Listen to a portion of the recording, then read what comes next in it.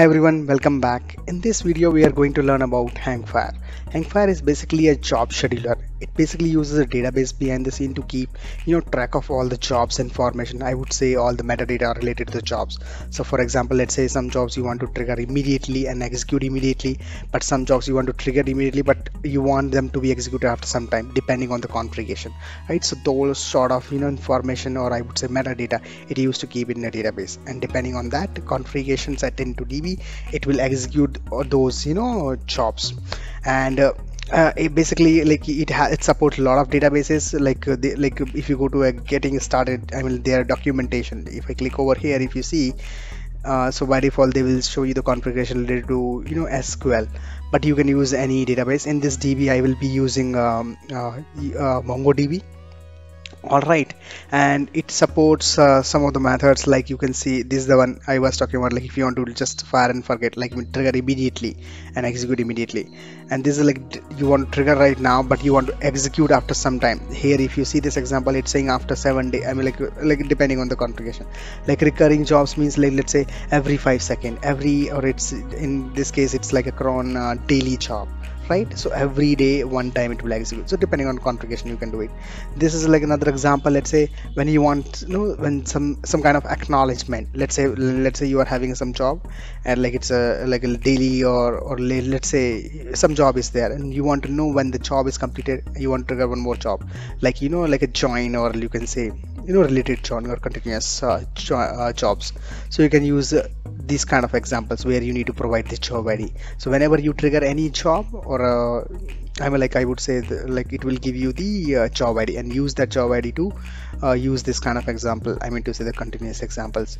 And sometimes you want like a lot of jobs you want to run on parallel like in a little kind of batch.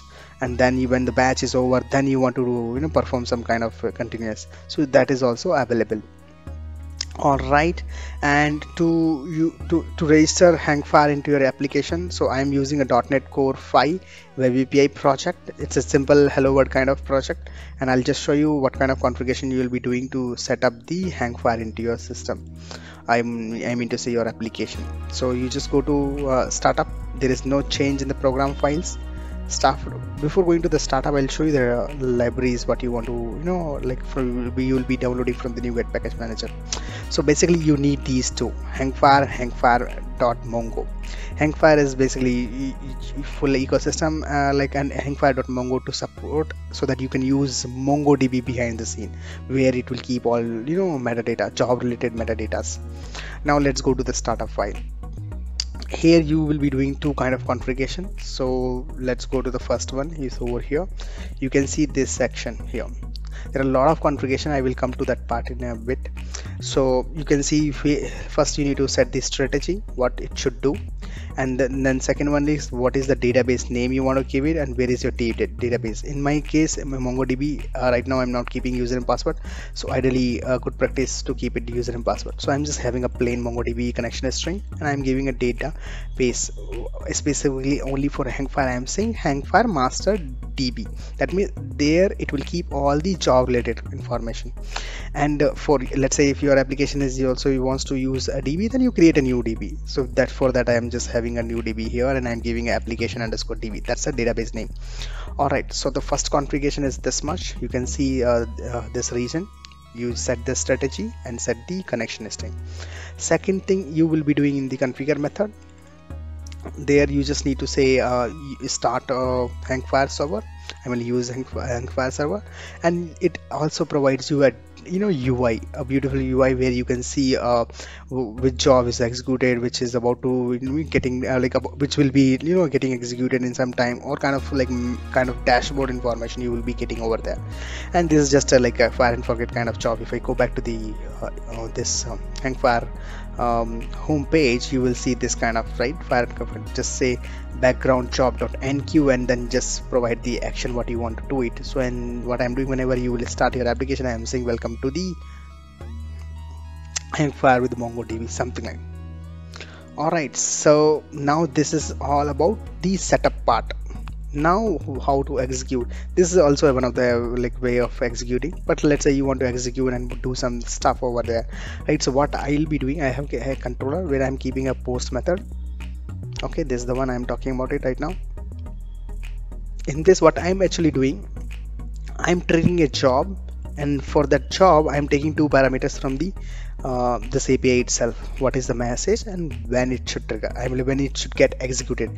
It will trigger get immediately but it will be executing in some time right? Depending on this configuration which is delay in second. You can use any configuration whatever you want it. Use it. All right. And uh, so in this action you can do whatever you want to do you want to trigger email you want to do something you want to run some business logic or whatever you want to do.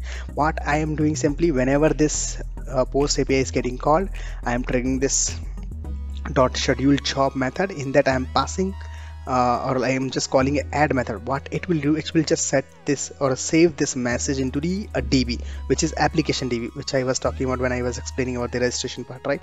So here I'm having a DB called application DB this is my personal or I would say the application DB not related to master DB just for the sake of this example I'm using this DB what I'll do whenever you trigger whenever it's getting executed it will save that data whatever is data into this DB so that way we will get to know like what is how things are going on. All right so if I go back to controller you can see uh, it's just saying schedule and action I'm passing hangfire repository dot add add is basically used to save the data into DB so I'm just saying collection dot insert. It's just uh, you know uh, like a simple way of saving the data into MongoDB. I've already created a video if you want to have a look on like how to you know work with the MongoDB uh, like in C sharp. So I'll put a link also in the description by the way.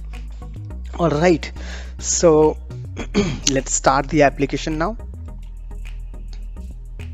and if you see there is no database right now.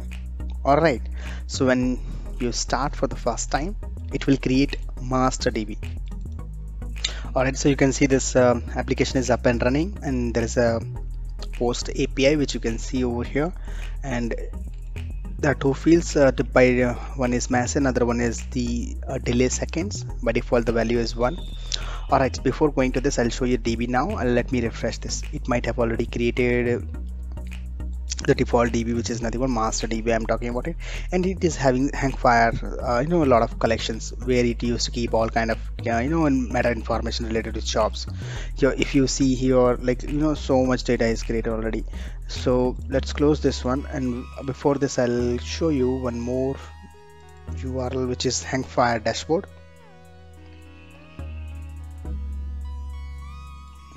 all right so you just need to type slash hangfire and you will see this kind of dashboard.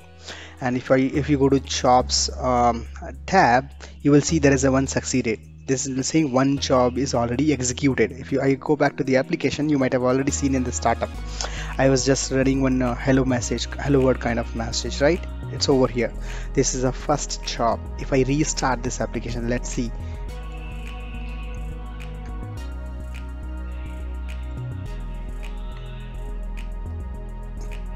so now the application is started again and that means it might have already executed one more uh, one more time this hello message right?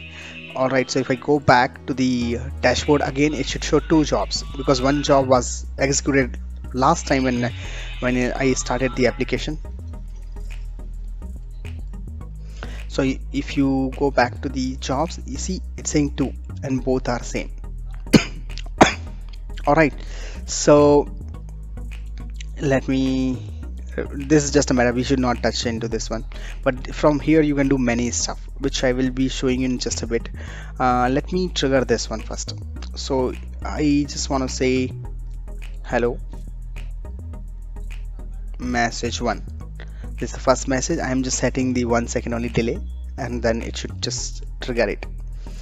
So job is gone. It will take its own time. Let me refresh it. Uh, it's still not executed. So you can see the job is executed application underscore db what i'm doing i'm creating a job and then when it's getting executed i'm just saving the information to db this is just to show you how hangfire works. You can do anything depending on your use case. For example let's say when the job is triggered i'm like i mean you want to trigger some emails on uh, you know some particular time. So instead of saving data into db you will trigger email or you may run some business logic stuff like that all right so if i go with collection you can see there is a one message called hello message which got triggered.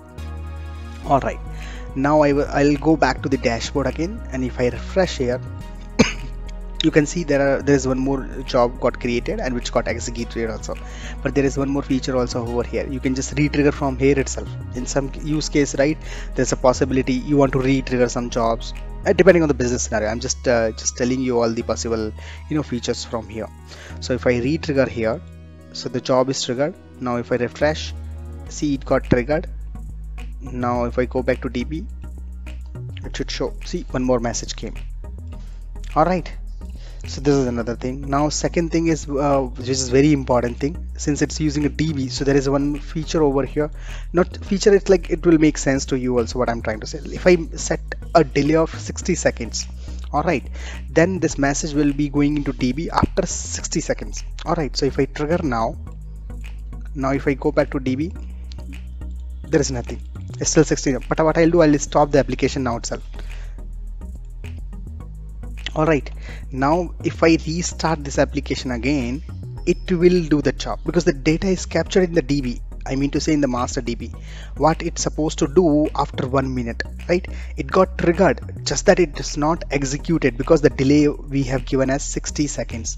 Alright so now if I restart the application you should see the third message. Alright so I think 60 seconds is still not over. So let me that doesn't really matter. Now you are restarting now so it depends on the configuration. I'm like 60 seconds if it's over it will immediately execute if it's not over then it will uh, execute after some time only. Alright so now just need to refresh the DB see still not completed. So it will check master DB and once that is taken care it will just show you the message over here. See? The third message came so we stop. So this is the beauty of this hangfire all right. And in the beginning itself I have shown you the uh, all possible methods like you can just trigger immediately you can trigger after some time or continuous job these sort of things you can do it. For mongodb i was referring this article um, from this uh, hangfire.mongo and then they are having many features also. Sometimes you want a different collection name different db or i'm like you want all the collection name to be you know in a different pattern like all sort of things you can do it. So for example if we go back and if you see this uh, uh, hangfire master db the collection names are hangfire dot something but you want something else right? Those things also you, you know can be taken care by these configuration you can take care. All right that's pretty much about this uh, video. Thank you very much